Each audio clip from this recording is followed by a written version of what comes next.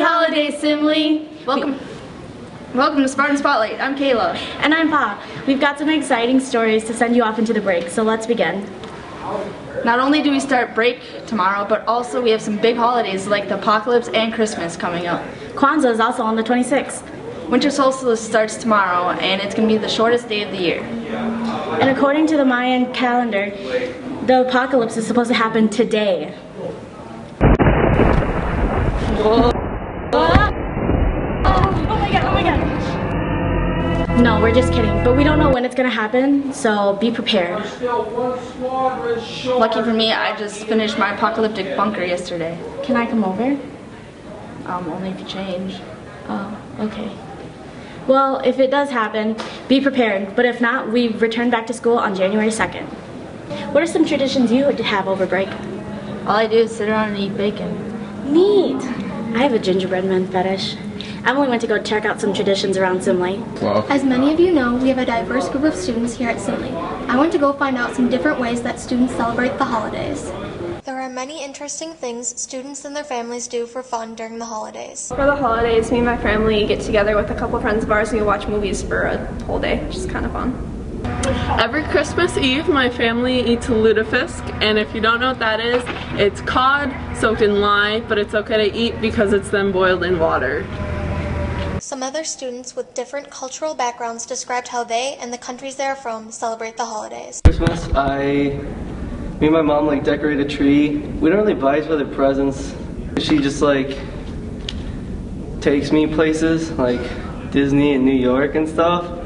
In Colombia, we like, uh, since there's no snow there, we pretty much just totally focus on decorations and so we'll like decorate everything and like you know here the colors are green and uh, red and over there it's like gold. So everything's just covered with like gold streamers and stuff and then the neighborhood always has a contest of who has like the best tree.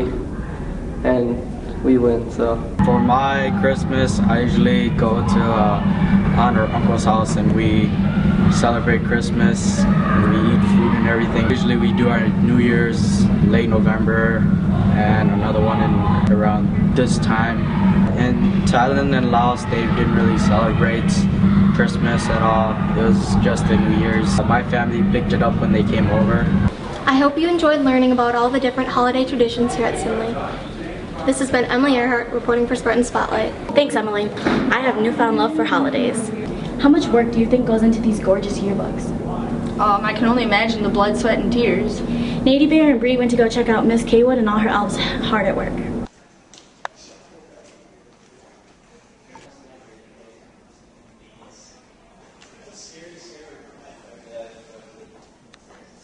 Yearbook. How do they make a yearbook?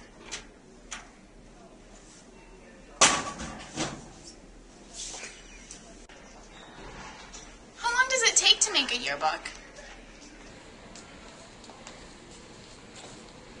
Is it hard to make a yearbook?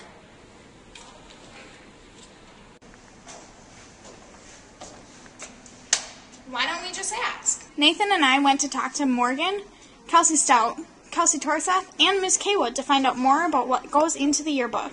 Hi, I'm Morgan Weinberg.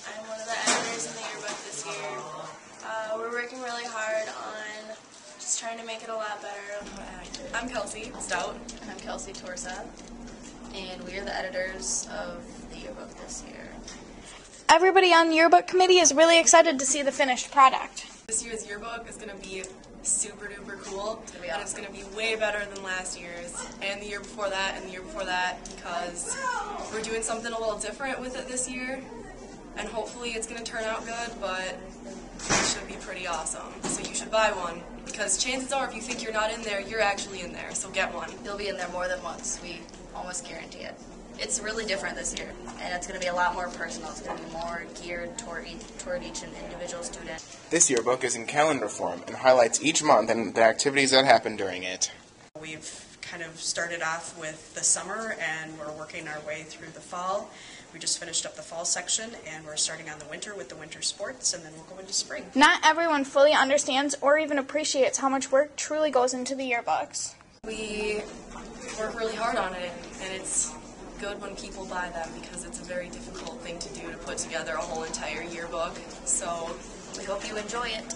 I really enjoyed learning about the yearbooks, and I hope you did too. I'm Bree Chaka. And I'm Nathan Waglander reporting for the Spartan Spotlight. Thanks, Nate and Bree. Can't wait to smell all the new pages in the 2013 yearbook. And that's a wrap for Spotlight this week. Make sure you check out bloopers and web extras on SpartanSpotlight.com. Follow us on Twitter and like our Facebook page. But before we go, Kayla I got you a present. Oh, thanks, Pa. Of course. We wish you a Merry Christmas. Hope you had a great Hanukkah. Have a terrific Kwanzaa. And have a Happy New Year. I'm Pa Yang. I'm Kayla Lavoy. Happy, Happy holidays, holidays, Simley.